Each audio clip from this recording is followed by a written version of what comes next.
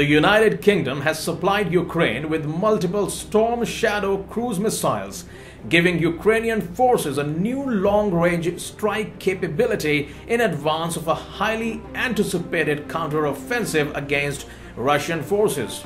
Multiple senior Western officials told CNN.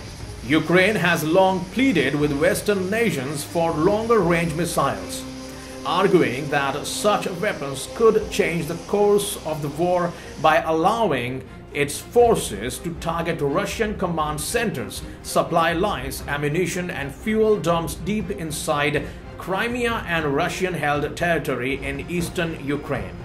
As Kiev prepares to launch a major counteroffensive as soon as within the next several weeks, the ability to strike far behind Russia's front lines would help clear the way for a ground assault with tanks and infantry troops. The Storm Shadow is a long-range cruise missile with stealth capabilities, jointly developed by the UK and France, which is typically launched from the air. With a firing range in excess of 250 kilometers.